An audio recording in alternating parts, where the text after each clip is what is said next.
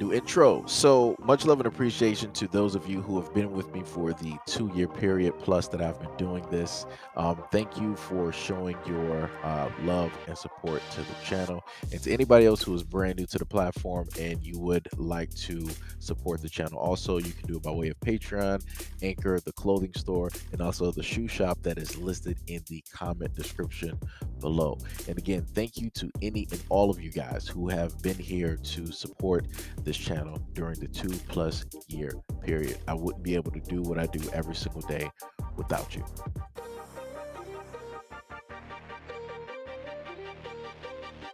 A Florida substitute teacher was busted for having relations with a teenage student who allegedly shared one of their videos on Snapchat.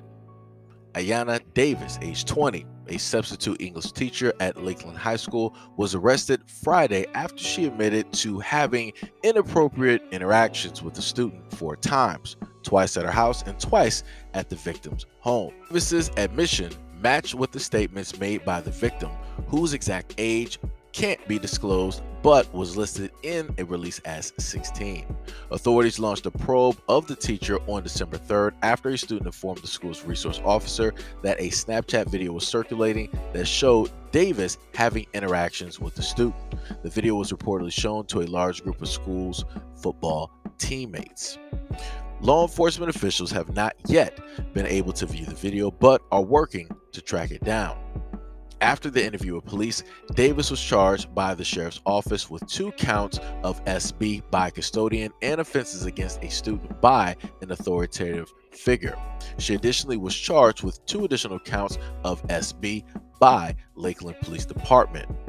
She made her first court appearance on December 11th when a $60,000 bond was ordered for all five charges.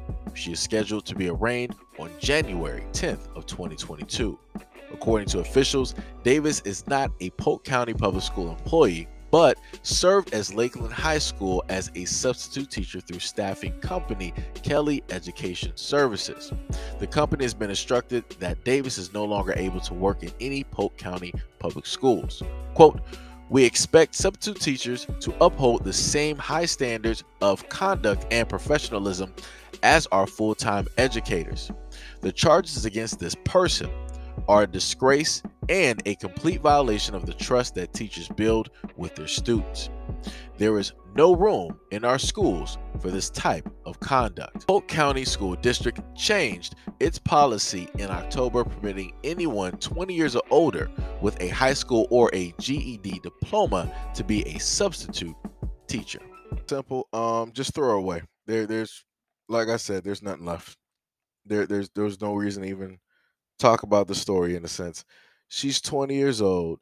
She decided to be a substitute teacher just to go back to high school, more than likely the exact same high school, and then, you know, start introducing herself to the the bodies in the high school. Uh like I said, it's beyond me. There's countless times I always see women becoming teachers or substitute teachers or teachers helpers and they go to these high schools and they're just freely introducing themselves to the the student body. And i'm like where are all of the women to call this out? Where are all of the women to call this out? Because mind you if this would have been a man and especially if this would have been a black man right that did this oh yeah mouths would have been open. People would have been talking. People would have been running. People would have been pointing fingers. But magically, when it's a woman and it just so happens to be a black woman, I don't I don't really see a lot of coverage about this. I don't really see a lot of the men, the black men hating networks, you know, really covering stories like this because I'm pretty sure a lot of those women who entertain a lot of those networks I'm pretty sure they have kids. Right? And I'm pretty sure they would not want their kids engaging with this teacher. I'm pretty sure. I'm pretty sure that those same women would not want their sons staying after school for extended hours with this teacher. I'm pretty sure that at no point in time, right, those women would want her to be anywhere around their kids. But yet, here we are. Here we are. But like I said before, this is what happens when you have the whole thing with feminism, when you have the whole thing with uh, you know, women saying that they can't be, you know, corrected. A man can't tell them what to do, can't correct them, can't do any of those things, right?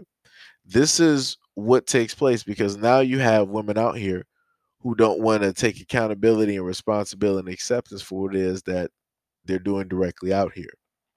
Like I said, she's doing the exact same thing that you've seen men do out here, but the difference is usually the men get charged harshly. Like they're going to be on the registry.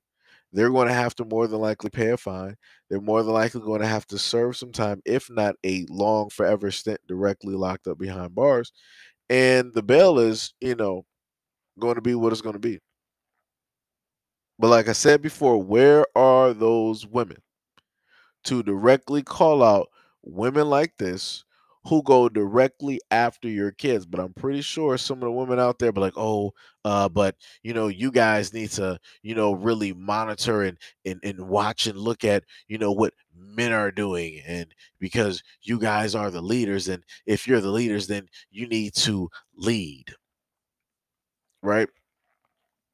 Like I said, it's crazy backwards logic. You'll have a lot of them that'll sit in a chair you know, directly at a table and they'll say those exact words looking directly in your face. But then, you know, supernaturally, they're like, oh no, I'm independent. I don't need a man to lead me. I don't need a man to show me what it is, you know, to do or to correct me. I can correct myself. Like I said, man, I don't, I don't know what to tell people. People are confused out here. Um, but I, the one thing I'm not confused on is the fact that she needs to get as much time as possible because she willingly decided to hunt down, right, one of these uh, teenagers and decided that, you know, she wanted to freely just show herself off. Like I said, she's 20. She's with somebody who is 16, which means that more than likely when she was in school, that guys weren't checking for her that guys were not sitting up there looking for her. So this is exactly why she decides to go back into high school so that she can relive those moments that she never, you know, had a chance to live. I said this is what down bad looks like when you have people that decide that they want to, you know, engage in these types of acts when they want to make the wrong decisions on purpose. This is exactly what you get right here. It's amazing to me that she couldn't magically find a man her age. Magically, that I, I guess magically a 16 year old is far more mature than a guy that is in his early 20s, mid 20s, and late 20s. Like I said before, this is a part of that whole, you know, modern woman type of deal. But, you know, it is what it is. Oh well. Hope for a lot of women out there, you better hide your kids, hide your other kids, and hide your husbands. Matter of fact, you don't even got to worry about your husbands. Just just hide whatever kids you got because they coming after everybody out here. But anyways, let me know what you guys think about this video and everything that I listed in the comment description below. And as always, peace, love, stay tuned for the next video.